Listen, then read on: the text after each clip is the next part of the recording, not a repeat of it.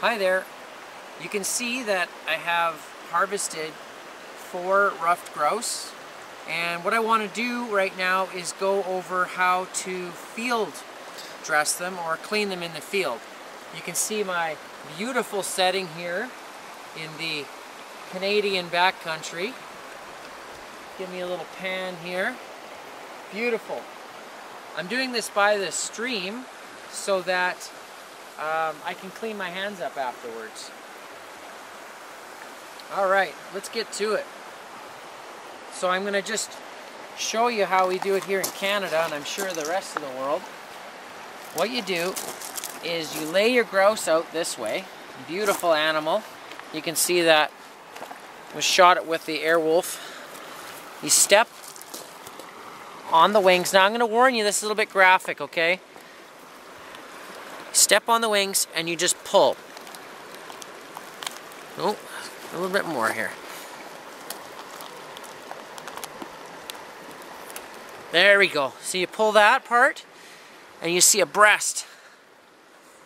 There we go.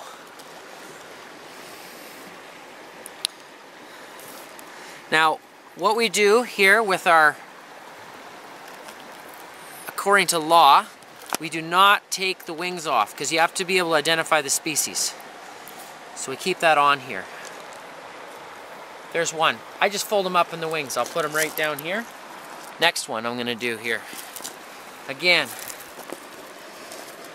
grab by the, the legs, step on the wings, slowly pull. Oh, that one came off. Nope, I'm going to go to another bird here just to keep it going. I'm showing the technique here more than anything. Okay, stepping on the wings, pulling. There we go. There we go. There we get separation right there. You can see the innards and stuff just come out. Tear those off the back.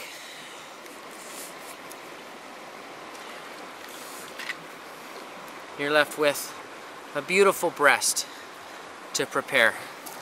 Okay, I'll put this one down here. Right here. Stepping on the wings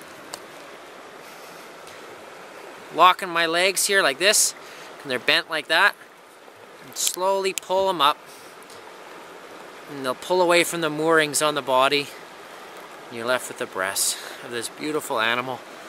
It's quite tasty too. See that? Separates here like this. There's the feet. You just pull it away. Pull the internal organs away. The head, everything separates. There we go. And you're left with this. And again, we keep the keep the wings on so we can identify the species if it were to be uh, checked by uh, fish and wildlife official, which keep these beautiful animals um, protected and harvested properly according to the law. There we go. Thanks very much for watching. See you at the next one. Bye.